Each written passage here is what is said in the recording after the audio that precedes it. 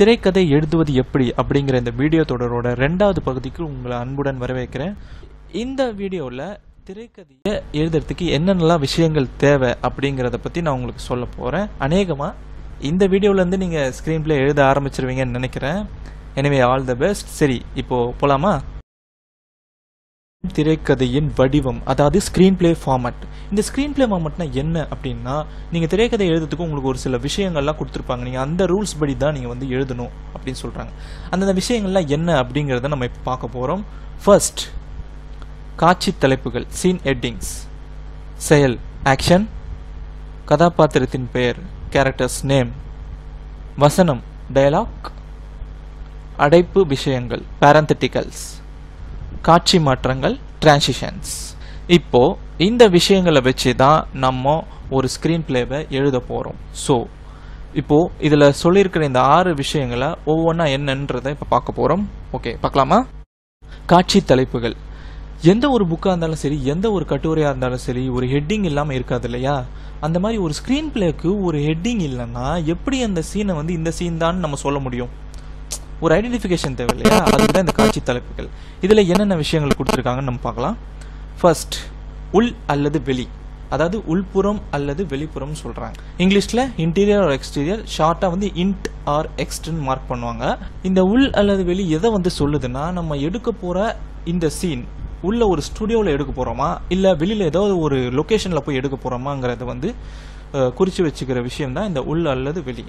இதை வச்சு தான் வந்து ஷூட்டிங்கில் நம்ம ஆரம்பிக்கும் போது அந்த ஸ்க்ரீனை பார்க்குறவங்க இல்லை உள் போட்டிருக்கு. ஸோ நம்ம வந்து ஸ்டுடியோவில் தான் இந்த சீன் எடுக்க போகிறோம் ஒரு செட்டு போட்டு தான் நம்ம எடுக்க போகிறோம் இந்த சீனை அப்படின்னு. இல்லை இல்லை.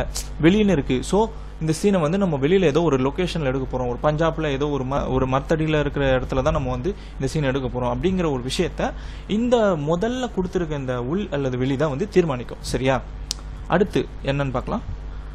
இடம்.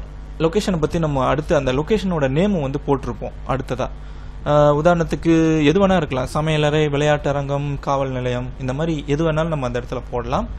அதுக்கு அடுத்ததாக வந்து நேரம். யூஸ்வலாக வந்து பகல் இல்லைன்னா இரவுன்னு தான் வச்சுருப்பாங்க. சில நேரம் வந்து தேவைப்பட்டால் காலையில் வர சீன்லாம் இருக்கும். காலையில் இல்லை சாயங்காலம் எடுக்கிற சீன்லாம் இருக்கும். அதுக்கு வந்து காலை அல்லது மாலை. இல்லை எக்ஸாக்டாக வந்து ஒரு டைம் இந்த டைமில் தான் இந்த சீன் எடுக்க இந்த சீன் வருது அப்படின்னு சொல் இருந்தால் அந்த சீ அந்த டைமே வந்து மென்ஷன் பண்ணியிருப்பாங்க உதாரணத்துக்கு அங்கே ஃபைவ் ஏஎம் போட்டிருக்குன்னா அஞ்சு மணிக்கு இந்த சீன் வந்து நடக்குதுங்கிறத ஸ்ட்ரெயிட்டாக அந்த டைமே போட்டுருவாங்க. ஓகேங்களா? ஓகே இப்போ இது மூணு விஷயங்கள் தான் இதில் இருக்கும். உள் அல்லது வெளி லொக்கேஷனோட பேர் அப்புறம் நேரம். ஸோ இது உங்களுக்கு நான் இப்போ சொல்லிட்டேன். ஆனால் உங்களுக்கு வந்து இப்போவும் வந்து ஒரு புரியாமல் இருக்கலாம் இல்லையா? அதனால் வந்து நான் உங்களுக்கு இப்போ ஒரு எடுத்துக்காட்டு காட்ட போகிறேன் காட்சி தலைப்பின் எடுத்துக்காட்டு. கீழே கொடுத்துருக்கு பார்த்தீங்களா அது வந்து ஹாரி பாட்டர் அந்த சேம்பர் ஆஃப் சீக்ரெட்ஸோட ஸ்க்ரீன் பிளே அதுலேருந்து ஒரு சீன் அது. அதில் பார்த்தீங்கன்னா எல்லோ கலரில் மார்க் பண்ணியிருக்கேன் பார்த்தீங்களா அதுதான் சீன் எட்டிங் காட்சி தலைப்பு. அதை தான் வந்து நான் மேலே வந்து டிரான்ஸ்லேட் பண்ணியிருக்கேன். மேலே பாருங்கள் அந்த மூணுன்னு போட்டிருக்கு பார்த்தீங்களா அது வந்து சீனோட நம்பரு அதுக்கடுத்து உள் டாட்னு போட்டிருக்கேன். அது வந்து உள் போகிறதோட ஷார்ட் ஃபார்ம் உள் டாட்னு போட்டிருக்கீங்க இல்லையா? அதுக்கடுத்து வந்து லொக்கேஷனோட பேர். ஆரியின் படுக்கை அறை. ஓகேவா? அதுக்கடுத்து ஐஃபோன் போட்டு பகல் போட்டிருக்கீங்களா? அது வந்து சீனோட நேரம். சரிங்களா? நீங்கள் வெட் நீங்கள் அந்த காட்சி தலைப்பு வந்து இப்படி தான் வந்து போடணும். சரி இப்போ உங்களுக்கு ஒரு ஐடியா கிடைச்சிருக்கும் இல்லையா? இப்படி தான் வந்து ஹெட்டிங் போடணுன்ற ஐடியா இருக்கும். ஓகே நம்ம அடுத்த டாபிக் போகலாம் அடுத்து நம்ம செயல் அதாவது ஆக்ஷன் இதுதான் திரைக்கதையோட முக்கியமான ஒரு பார்ட் இதில் நம்ம பார்க்க போகிறது ரெண்டே ரெண்டு விஷயம்தான். என்ன நடக்குது? யார் அதை செய்கிறாங்க இந்த இடத்துல தான் நீங்கள் காட்சியை அப்படியே எழுத போகிறீங்க சரிங்களா? நீங்கள் படமாக பார்க்க போகிறத அப்படியே வந்து எழுத போகிறீங்க உதாரணத்துக்கு எப்படி சொல்லலாம்? நான் ஒரு மனுஷன் வந்து ஓடி வரான். திடீர்னு ஒரு செவ்வறு எகிரி குதிக்கிறான். அந்த செவ்வறு எகிரி குதிச்சோடனே அந்த வீட்டு அந்த வீட்டோட கதவை திறக்கிறான். அந்த வீட்டு கதவை தொட்ட உடனே செக்யூரிட்டி அலாரம் அடிக்குது. செக்யூரிட்டி அலாரம் அடிக்கிறத கேட்டோடனே முதலாளி எழுந்திரிச்சு கத்துறாரு. அதை அவன் கத்துனதை கேட்டோடனே செக்யூ செக்யூரிட்டிங்கள் அந்த வீட்டு செக்யூரிட்டிங்கெல்லாம் ஓடி வராங்க. உடனே அந்த மனுஷன் வந்து அந்த செவ்வறு எகிரி குச்சி ரோட்டில் ஓடுறான். இப்படின்னு வந்து ஒரு காட்சியை நீங்கள் அப்படி எழுதணும். அதுதான் வந்து படமாக வரப்போகுது. ஓகேவா உதாரணத்துக்கு நான் ஒரு சின்ன உதாரணத்தை இங்கே வச்சுருக்கேன். அதை நானே வச்சுருக்கிறது. உங்களுக்காக படித்தோம் காட்டுறேன். சென்னை சென்ட்ரல் ரயில்வே ஸ்டேஷன் வெளியே வாகனங்களும் மக்களும் பரபரப்பாக சென்று கொண்டிருக்கின்றன. அங்கே உள்ள சாலை ஒன்றின் சிக்னலில் வெறுப்போடு பைக்கில் உட்கார்ந்து கொண்டு இருக்கிறான் அருண். அவன் முகத்தில் எப்போது பச்சை சிக்னல் தோன்றும் என்ற பதட்டம். இது வந்து பார்த்தீங்கன்னா அந்த சீனை வந்து அப்படியே விவரிக்குது. சொல் இல்லையா?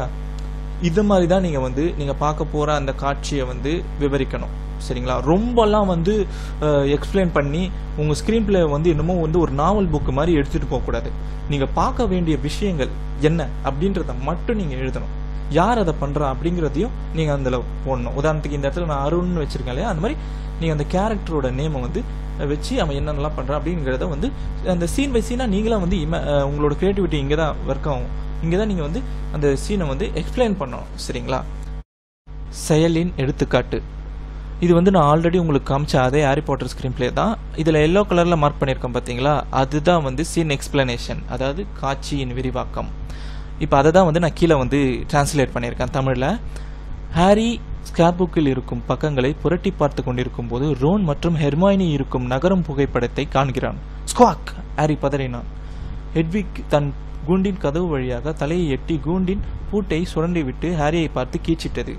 இப்போ பார்த்தீங்கன்னா இங்கே எக்ஸ்பிளைன் பண்ணிட்டு எக்ஸ்பிளைன் பண்ணி வச்சிருக்க அதே வேர்ட்ஸ் தான் படத்தில் நீங்கள் பார்க்குறீங்க ஸோ நீங்கள் பார்க்க வேண்டிய விஷயங்களை மட்டும்தான் இந்த இடத்துல எழுதணும்.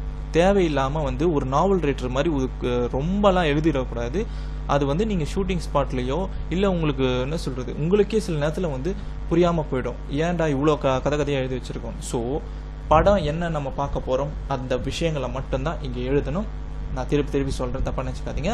இதுதான் விஷயம் இதை பொறுத்த வரைக்கும் அடுத்ததான் போகலாமா செயல் குறிப்புகள். ஏன்னா முக்கியமான ஒரு சில விஷயம்லாம் இருக்குது அதை நீங்கள் பார்க்கணும்.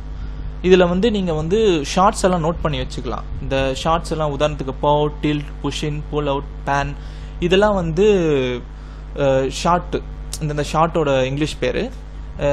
இதெல்லாம் வந்து நீங்கள் இந்த ஸ்க்ரீன் பிளேல நோட் பண்ணி வச்சுக்கலாம். அந்த உதாரணத்துக்கு வந்து ஒரு சில ஷார்ட்லாம் வந்து நம்மளே மனசுக்குள்ளே பிளான் பண்ணி வச்சுருப்போம். இந்த டைலாக் சொல்லும் போது வந்து கேமரா வந்து ஜூம் பண்ணணும் அவனை அப்படியே வந்து இந்த இடத்துல வந்து அப்படியே கேமரா வந்து ஸ்லோவாக வந்து பின்னாடி வரணும் அப்படின்ற மாதிரி நம்மளுக்குள்ளேயே மைண்டில் ஒரு விஷயம் இருக்கும். அதெல்லாம் வந்து நீங்கள் வந்து நோட் பண்ணி வச்சுக்கலாம் ஸ்க்ரீன் பிளேல அந்தந்த இடத்துல. பட் மோஸ்ட்லி நீங்கள் இந்த விஷயங்கள்லாம் வந்து குறைச்சிக்கிட்டீங்கன்னா ஸ்க்ரீன் ப்ளே உங்களுக்கு பார்க்கறதுக்கு ஈஸியாக தெரியும். இல்லைன்னா நீங்கள் ஷார்ட் எடுக்கும் போது எல்லா விஷயங்களும் நோட் பண்ணும்போது உங்களுக்கே கன்ஃபியூஷன் ஏற்படலாம். ஸோ முடிஞ்ச வரைக்கும் குறைச்சிக்கோங்க. அவ்வளோதான் ஓகேவா ஓகே இந்த வீடியோவோட எண்டுக்கு வந்துட்டோம். மீதி விஷயங்களை இந்த வீடியோவோட பார்ட் டூவில் பாருங்கள் ப்ளீஸ் உங்களோட சப்போர்ட் எனக்கு ரொம்ப ரொம்ப முக்கியம். அதனால் இந்த வீடியோ உங்களுக்கு பிடிச்சிருந்தா லைக் பண்ணுங்கள் ஷேர் பண்ணுங்கள் அண்ட் ஆல்சோ கமெண்ட்